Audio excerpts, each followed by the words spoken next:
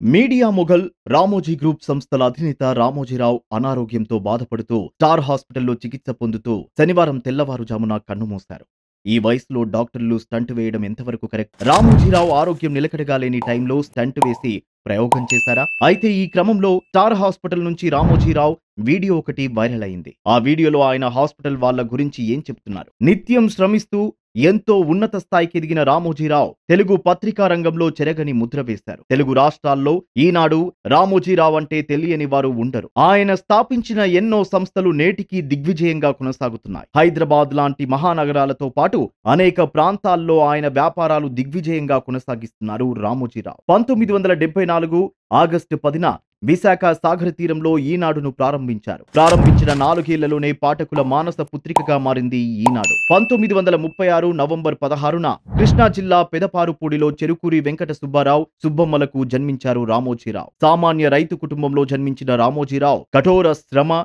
పట్టుదలతో పనిచేసి అంచెలంచెలుగా ఎదిగి అనతి కాలంలోనే శిఖర స్థాయి సమానులు అయ్యారు. ఈనాడు ఈటీవీతో పాటు మార్గదర్శి చిట్ ఫండ్స్ ప్రియా లాంటి అనేక సంస్థలను స్థాపించి విజయవంతంగా నడిపించి ఎందరో వ్యాపారస్తులకు స్ఫూర్తిగా నిలిచారు. గుండె సమస్యలతో ఎంతో కాలంగా బాధపడుతున్న రామోజీరావుకి ఇటీవల గుండెకు స్టంట్ వేశారు డాక్టర్లు. ఈ నెల ఐదున ఆయనకు శ్వాస తీసుకోవడంలో ఇబ్బందులు ఎదురవడంతో హైదరాబాద్ శివారులో ఉన్న రామోజీ ఫిల్మ్ సిటీలోని రామోజీరావు నివాసం నుంచి నానక్రామ్ గూడలోని స్టార్ హాస్పిటల్కు తరలించారు.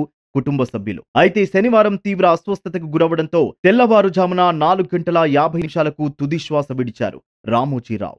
అయితే ఆయనకు ఈ వయసులో స్టంట్ వేసి ఆయన ఆరోగ్యంపై ప్రయోగం చేసి ఉండకూడదు అని పలువురు భావిస్తున్నారు.